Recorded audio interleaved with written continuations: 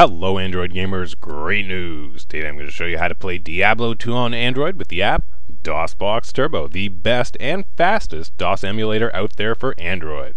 Come check out my full how-to guide here in the XDA Developers Forum. It has all the information about playing DOS games and PC games on Android. Of course, we have system requirements. Check them out right here. Now, today I want to note that we are going to run Diablo 2 so I'd recommend having at least a 1.8 gigahertz device with 2 gigabytes of memory for this particular game as it's very intensive to run. Check out the hardware conversion chart here. Basically a high-end device will only get you like a Pentium with about 90 to 100 megahertz of juice. Of course, more information here on the DOSBox pages. You can check out full performance information here and check out the benchmarking, of course. You can benchmark your device and see where it fits in with our chart.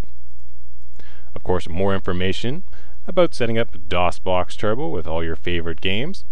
Check it out here in the video's description. Now to get us started, you will need to follow step number one here and get yourself the great app, DOSBox Turbo. Just click here for the link. You can check it out. It costs a couple dollars, but it's well worth the cost to pay to play. It's a great application brought to us by developer Gene, aka Fishstix. Check it out here. It's well reviewed, supports Win9x and 3DFX glide support, and it's frequently updated. A great application to have. Now I'll show you the first step on my Note 2. Once you open the application for the first time, you'll need to find the Settings menu. You can find this in either the upper right hand corner or by swiping from the left side of the screen to reveal the hidden menu and go down to Settings menu. Click it to select it and it'll bring up an additional menu. You need to select DOSBox Settings Advanced DOSBox Config and scroll to the very bottom of this list. You'll need to put a check mark beside 3DFX Glide Support and Manual Mode. If you don't do this, you won't be able to replace the DOSBox config file and it will be defaulted when you run the app. You also won't have the benefit of 3DFX Glide support. You'll need to exit the app and restart it before these changes will take effect. Now we're ready to download our Win9x package for DOSBox Turbo. Look in either the video's description or the forum thread below and you'll find the full complete guide. Be sure to read this guide through. It has all the information on performance tweaking and setting up your games and device. There will be two packages to choose from. The first one is the recommended package. The difference is this package lacks CD ISO support. Inside of the emulated Win9x environment, we won't normally be able to run ISO images like we can from DOSBox using DOS games. So in order to get around this, we'll have to use daemon tools emulated in the Win9x environment. This, however, can ruin the image's stability over time. So I recommend getting package 1.0 unless you have games that you need to use ISO support for, such as Jedi Knight Dark Forces 2. I recommend trying to use workarounds, such as game fixes from GameBurn World. Once you've downloaded your package, place it on your desktop, extract the files, they'll be zipped. You can just extract it to your desktop or any convenient location. You'll have this folder here, which has your HDD images, your C image, and your DOSBox config. Here's the complete guide that we've been looking at here refer to the next step of your guide. For step 3, you'll need to install a free 30-day trial of the WinImage program onto your PC computer. Be sure to use it before the 30-day trial passes. This program will allow you to open up the HDD images and place your game files within them and save them. Simply follow the link here or in the forum thread. Download the software here from the Softpedia website.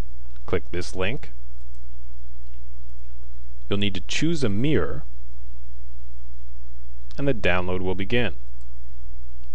Install the package onto your computer. It's very straightforward. Once this is complete, we'll be ready to open up our HDD images.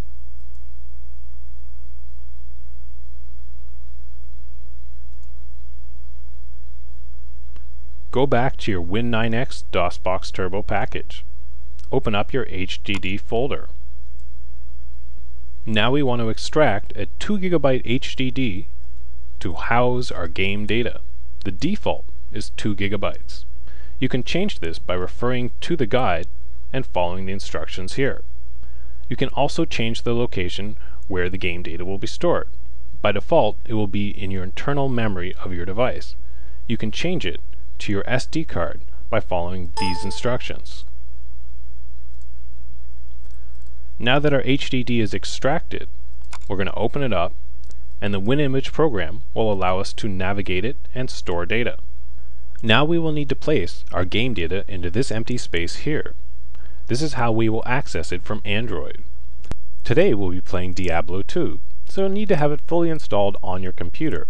Now it appears version 1.05b is the one that works on Android. I found this out from a very interesting post in the Where's forum.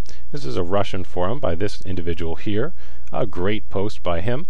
Now he has a Windows 95 image that's entirely in Russian. You can get that here if you prefer to have the language entirely in Russian, or you can just use my images for English. Now he's kind of cheating here and I can't provide you with any game data, but there's a link here so you can download the fully installed game Diablo 2 here. So you'll have to come get that yourself. I can't really help you out with any of that, but you can install the game and try it yourself. You'll need it fully installed on your computer, but great post by this guy here. Now either download the game, set it up on your computer yourself. Here I have that downloaded copy and I'm ready to transfer my game data over. Now, a very, very important note right here uh, is that his file is named differently than mine. So you'll need to change right here, this underscore in the middle, to a minus symbol. If you don't do that, it won't launch because the name of my images is just slightly different. Just one minor difference, but an important note. Now we're ready to transfer over our data to our Android device. So let's plug it in open it up and explore it. Now we're going to put it into my device's internal memory. So open it up. And we just want to put it into the root directory here, which is the blank space here. We open it up and plug it in with the USB cable. So we need to place our hard drive image with all our game data into this blank space here. Copy and paste it or drag and drop it. And we'll need to open up our package and copy and paste the C image and our DOSBox Turbo config here. You can drag and drop these all over to your device and it'll take a little while to transfer it all over but once it all completes we'll be ready to play these games on Android. Now that all three files have finished transferring over to my Android device, the C image, the DOSBox config file, and the HDD image, I'm ready to launch the game on Android. Let's go have some fun. Here we are on my Note 2, ready to run DOSBox Turbo from Android. Let's start it up.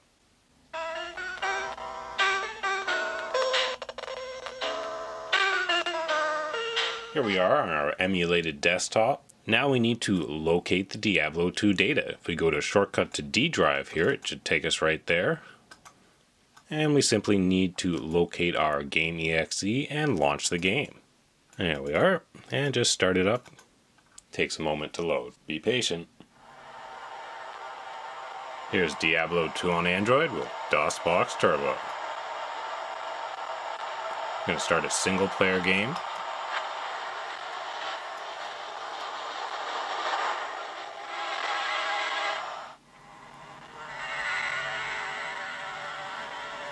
Here we are in the actual gameplay on my Note 2.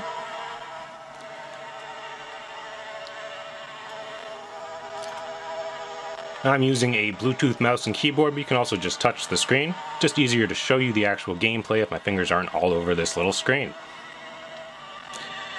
As you can see, performance is still a little laggy. This is my Note 2. It's 1.6 gigahertz with 2 gigabytes of memory, and I'd consider this too slow to play this game. You're going to want a newer device, upwards of a Tegra 4 device or something newer and better. Always great stuff coming out on the horizon. Now to maximize performance, I recommend you disable the sound completely. You can do it from the options menu in DOSBox Turbo. Just uncheck the sound option. But there's a few things in-game we can do to improve performance as well. For instance, you can go to your options menu. go to the sound settings, and you can disable the music. You'll still have uh, the sound effects and the NPC conversations, uh, but the music, the multiple sounds playing at once really slows down the game. So once I disable the sound, the frame rate improves a little bit. Completely disable the sound for a nice performance boost. You'll definitely want to do that on a slower device. In addition, make sure you have the video settings turned down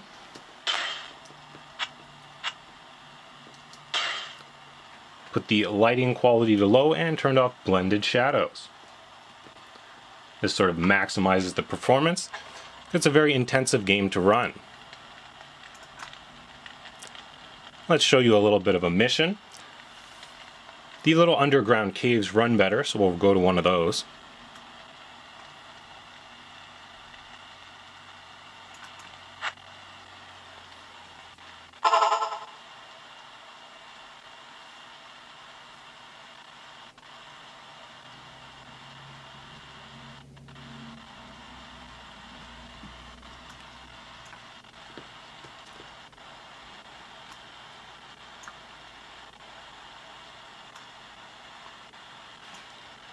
Now you can also bring up a keyboard menu.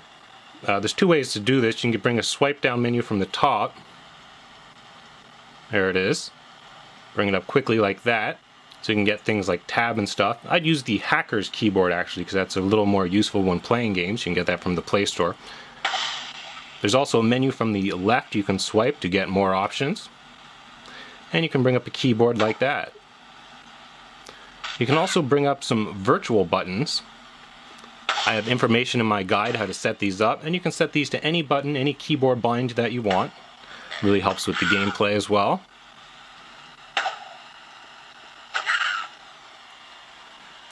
And to hide this menu, you'll just need to swipe up on the screen again. Now there's lots of different ways to play. Of course you can touch the screen. Let me just turn off the map. But you can also use the S Pen. My Note 2 comes with an S Pen and just touch the screen.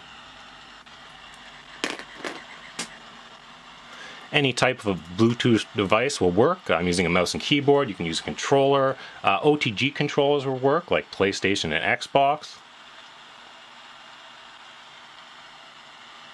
Let's go visit the hole.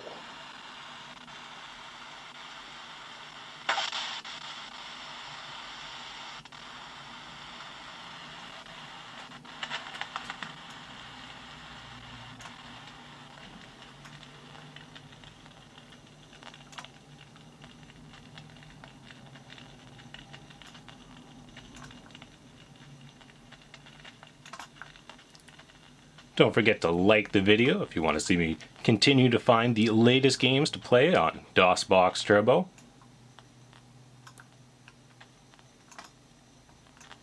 I know people have been asking for Diablo 2 for some time.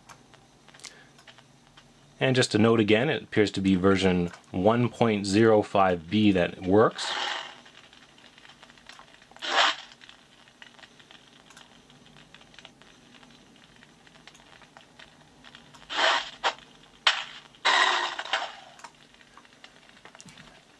Now in addition, we can increase performance by swiping to the side menu and we can attempt to change the cycles. By default it'll be on auto, but by increasing this number here, we can basically clock it up.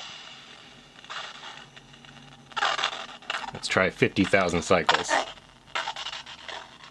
Now this will impact uh, the sound, but it improves performance. Just want to show you the difference.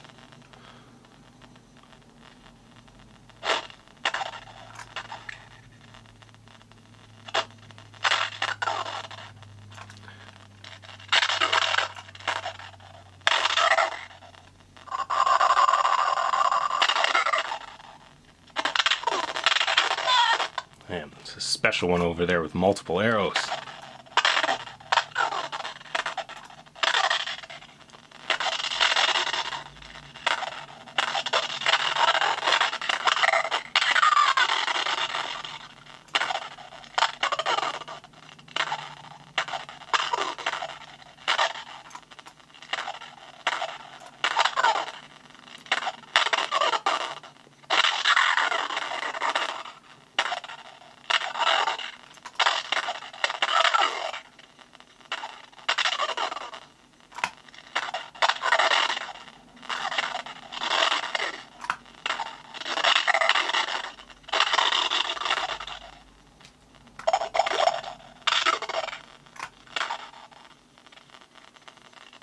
Where's my little archer girl? Back me up.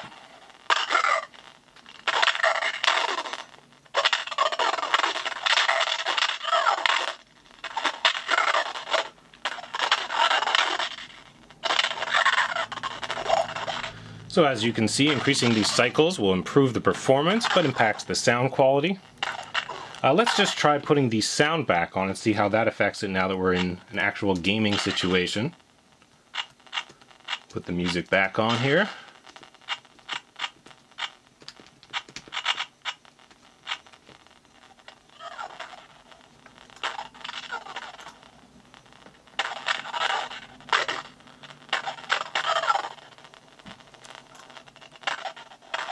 Alright, you'll want to turn down the cycles when you put the music on though because it'll affect the sound quality. So we'll put it back to auto there. For all you audiophiles, you just gotta have the music in your gameplay.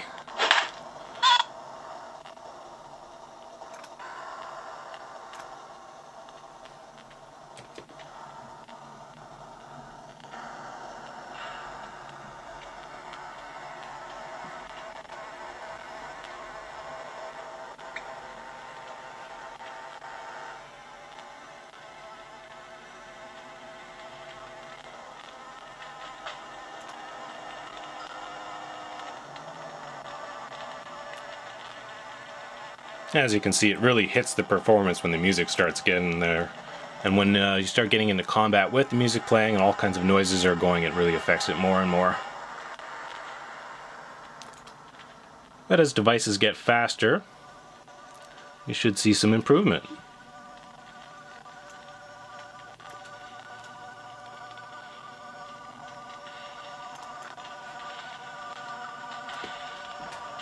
There's lots of games you can play with DOSBox Turbo and Android. For instance, Fallout 2 and the Fallout 2 Restoration Project. Don't forget to check out my guide. Oh, here's a battle.